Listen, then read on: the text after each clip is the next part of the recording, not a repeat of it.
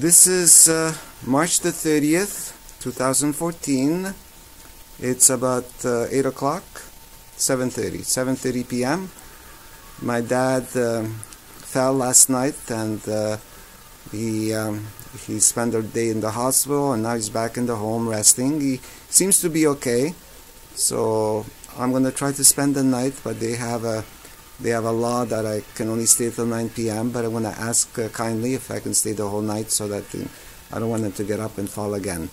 All right, signing off. Uh, so this is uh, here we are.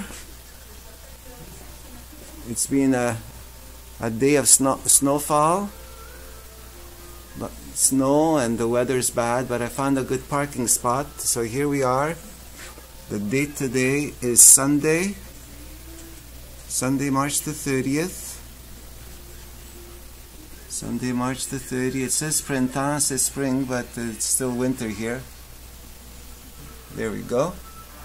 Look at this beautiful picture. Isn't that nice picture of the the geese? And we'll go take a look outside and uh, you can see the snow on top of the roof and you can see the snow at the bottom there. Piles of snow everywhere. Snow snow snow snow. All right so signing off. Talk to you later. Ciao